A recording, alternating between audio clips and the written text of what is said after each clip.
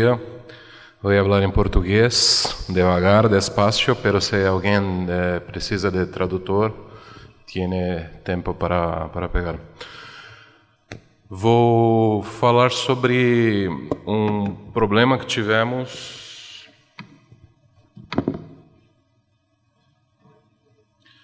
com a implementação, com o uso dos nossos servidores de rotas, os nossos route servers, é, por conta do tamanho do, do nosso Internet Exchange é, em São Paulo, no Brasil.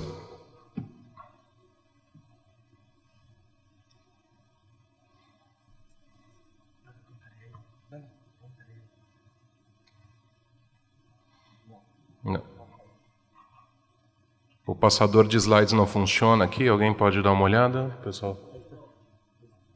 Já? Sim. Ok. É...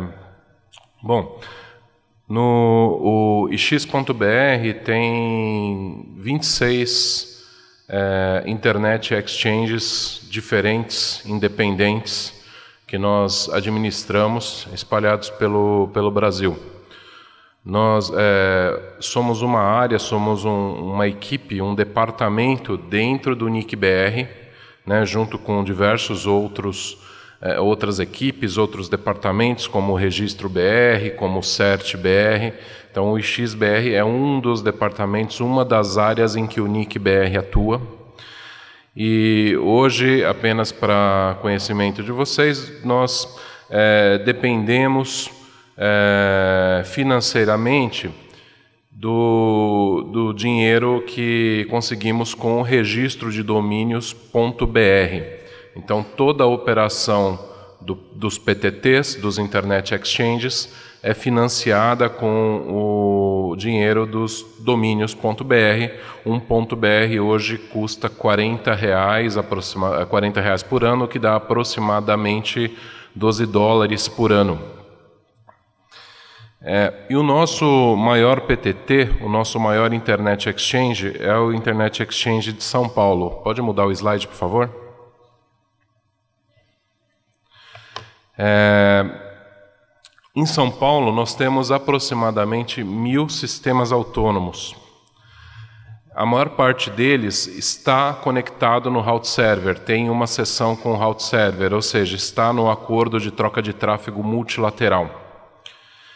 E quando a gente teve esse problema algum tempo atrás, do que eu vou falar na apresentação, nós é, trabalhávamos com quatro route servers.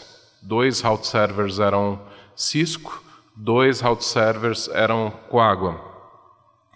E a gente pede, ou pedia, bom, continuamos pedindo, mas a gente pedia para os participantes fazerem as sessões com os quatro route servers ao mesmo tempo, para redundância. Pode mudar o slide, por favor? E não volta um, mudou duas vezes. Isso. Ok. É, e o que, que a gente descobriu com o tempo? Esse, esse número de mil participantes é um número muito alto. Né? Mesmo para PTTs, Internet Exchanges fora do Brasil, esse é um número bastante alto. É, o Internet Exchange, o XBR de São Paulo, em número de participantes, muito provavelmente ele é o maior Internet Exchange do, do mundo. Então, esse é um problema que nós enfrentamos e que, mesmo é, grandes Internet Exchanges da Europa ainda não, não chegaram nisso, ainda não tiveram esse mesmo problema. O que, que a gente percebeu? É, o Quagua a partir de um certo momento, ele não conseguia mais fechar as sessões TCP. Eles não, os participantes não conseguiam mais estabelecer sessões BGP. E a gente descobriu que havia um limite por conta de como o código do Quagga era feito, de como que os sockets eram gerenciados dentro do Quagga, é, pelo uso de select é, para gerenciar os, os, os, sockets dentro do código C, é, o Quagga não conseguia lidar com mais do que mil sessões ao mesmo tempo. Então, no primeiro momento, o que, que a gente fez? a gente separou o route server que era Quagga em dois route servers, um para IPv4, um para IPv6, né, de forma que a gente diminuiu o número de sessões estabelecidas. Isso lá atrás, um bom tempo atrás. Enfim, isso é, serviu por algum tempo e a gente começou a procurar as soluções. É, uma das soluções que a gente pensou foi usar o Bird em, em, no lugar do Quagga.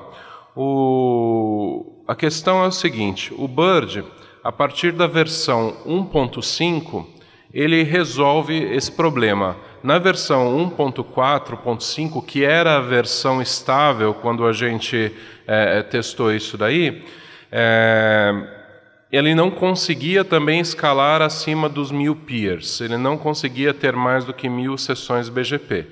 E daí a versão mais nova, na época em que a gente teve esse problema, era a versão 1.5. Ela resolvia o problema, mas em testes de laboratório, na época, nós consideramos que não, não estava ok para ir para a produção, não estava estável o suficiente para ir para a produção. E a gente tem um segundo problema que é o seguinte: tanto o Quagga quanto o Bird é, são softwares que rodam em PCs, né? Hoje em dia, a gente tem os servidores com múltiplos cores, múltiplos processadores, só que tanto o Quagga quanto o Bird, eles trabalham com um processo só. Então, é, você tem lá, não sei quantos cores, oito cores, cada um com vários núcleos dentro. Um Linux reconhece, não sei, 60 e poucos cores, 30 e poucos cores. E o processo que vai rodar o route server lá está usando apenas um daqueles cores. Então você olha o, o você olha a carga da máquina, ela parece que está baixa, mas é, o processo está com dificuldade de responder, dificuldade é, de conseguir aguentar a carga, porque ele está usando apenas um core é, do processador, enquanto todos os outros estão livres e, e, e são inúteis, né? Enfim, qual foi a solução que nós acabamos por adotar? Uma solução que o, o Ailton, da, da equipe que não está aqui hoje, é, propôs, pensou internamente e acabou sendo tendo bastante sucesso. Nós acabamos usando múltiplos birds, múltiplos processos do software bird, em vez de um só, na mesma máquina. Então, como que a gente fez isso? A gente rodou cada processo usando uma porta TCP diferente, em um IP diferente, em um IP de loopback diferente, cada processo com um router ID diferente. Cada processo do Bird consegue ler, compartilhar os mesmos arquivos de configuração, então você não precisava repetir os arquivos de configuração várias vezes, todos eles conseguiam ler as mesmas pastas dos arquivos de configuração. E daí a gente fazia, fez um, um, mesh, um mesh IBGP entre esses birds e passou a usar só Passive Mode. E a distribuição de carga é feita pelo NetFilter, pelo iptables do Linux. Então é mais ou menos isso daí. Nós temos é, 10 processos rodando Bird separados no mesmo servidor. Todos eles leem os mesmos arquivos de configuração é, cada um roda com um IP e porta diferente, cada um tem um, um identificador diferente, e o iptables faz a distribuição de carga. Então, para o cliente, para o participante que está lá do lado de fora, ele enxerga só um IP e vai fazer, vai fechar a sessão com a, com a, com a porta TCP 179, que é padrão do BGP. Só que internamente isso é distribuído para diversos processos que são como diversos é, roteadores virtuais fazendo essa função do route server. É, e todos esses processos, então, aqui num full mesh de, de IBGP internamente, de forma que a tabela que é vista pelo participante do lado de fora, não importa em qual processo ele se conecta, é sempre a mesma. Eu incluí na apresentação, mais para vocês olharem depois alguns excertos de, de, configuração. Então, esse primeiro excerto mostra, mostra uma configuração de um desses processos, mostra o IBGP com os outros processos, mostra o Router ID, que é, é diferente para cada um deles. É, a segunda a segundo excerto de configuração mostra a configuração para um participante é uma configuração, inclusive, aqui de alguns meses atrás, é, quando a gente ainda não, não tinha implementado algumas funcionalidades novas é, é, em relação a communities. Então, essa configuração para a gente é um pouquinho antiga, hoje não está exatamente assim, mas dá para ilustrar bem o propósito, o propósito dessa apresentação aqui, que é mostrar essa solução com vários birds rodando em conjunto. E a o terceiro excerto de configuração é uma parte da configuração do iptables, para mostrar como é feita a distribuição de carga entre os diversos processos no mesmo servidor. E isso daí funcionou muito bem, acabou tendo um footprint de memória menor do que a solução com um coágua só, ou seja, esses 10 processos de Bird consomem menos memória de processador do que um processo de coágua. E a distribuição de carga entre os diversos cores do servidor ficou muito melhor, ou seja, a carga ficou mais baixa e acabamos tendo uma performance bem melhor. Então a gente vê aqui nos gráficos de uso de processador, de uso dos diversos cores do servidor, a diferença. O gráfico de cima mostra o antes. E esses picos amarelos mostram é, os picos em um processador apenas, em um dos cores disponíveis no servidor, enquanto o gráfico de baixo mostra uma distribuição de carga mais homogênea entre os diversos processadores diferentes de forma que a carga ficou é, bem mais baixa no geral e, e, a velocidade aí de resposta ficou bem melhor. E daí é, isso acabou gerando algumas dificuldades. Por exemplo, como você poderia fazer o troubleshooting é, de um participante? Porque você tem diversos processos Bird e o iptables distribui ele distribui os participantes conforme vão fazendo as sessões TCP aleatoriamente. Então, como saber em qual processo um determinado participante está ou deixa de estar? Bom, nós escrevemos alguns scripts em, usando Python é, para gerenciar esse conjunto de diversos processos rodando Bird como se fosse um único roteador. Então nós criamos uma interface, é, imagine como se fosse uma CLI, não, não exatamente, mas é, uma interface para gerenciar esse conjunto de é, múltiplos processos como se fosse uma coisa só. Então a gente tem um comando para adicionar usuário, um comando para retirar usuário, um comando para verificar o status de um determinado participante, é, e esse comando trata de descobrir sozinho em qual processo aquele determinado participante está com a sessão BGP é, em pé e fazer a query naquele processo e devolver para o analista, para o usuário que está é, que tá operando aquilo, a resposta correta. A gente teve também é, problemas com MD5 é, e e com modo passivo. Né? O MD5 é, no Bird, é, ele só funciona no modo ativo. Ao menos na versão de Bird que a gente usou, ele só funciona no modo ativo. E, e para esse esquema funcionar, é, tem que ser no modo ativo, ou seja, a conexão, para ela poder ser distribuída pelos diversos processos, ela tem que vir de fora, ela tem que vir do participante, ela tem que se iniciar é, por é, iniciativa do roteador do participante. É, então a gente teve que separar um dos processos do Bird para manter todos os participantes que precisavam usar MD5, né?